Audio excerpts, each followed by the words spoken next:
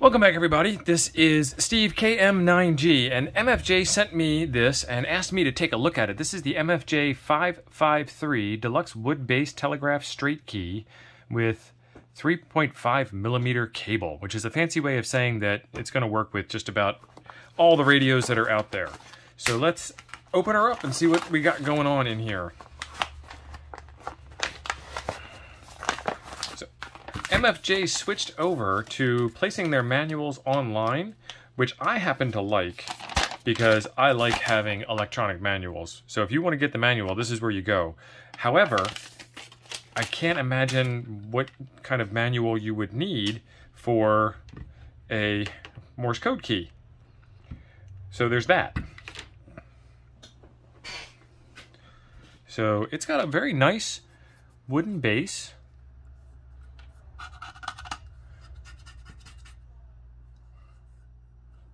Very nice looking.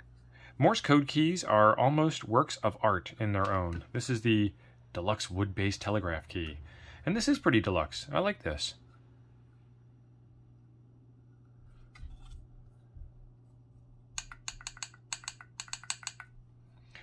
I do not actually know how to do straight key all right, I'm going to bring out a radio here. This is the Xiegu X6100. This is not the star of the show, this key is, but I need something to demonstrate it with. So let's go into key settings, and let's make sure our CW trainer is set to on.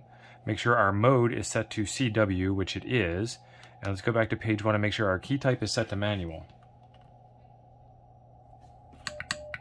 There we go.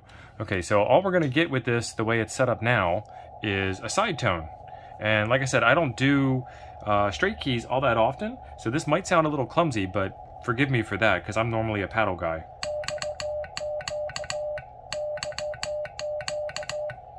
That's not bad.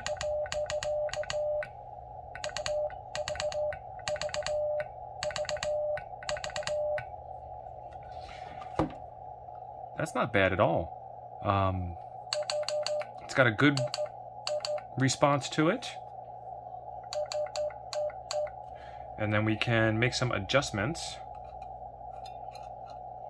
And what I want to do is I want to make this a shorter key travel. So I'm going to tighten down the back screw. And then I'm going to use the bigger screw to lock it in place.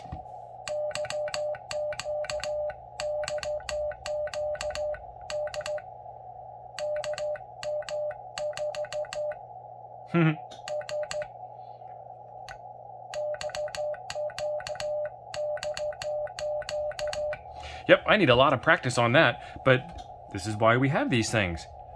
So, I like it. It looks pretty good.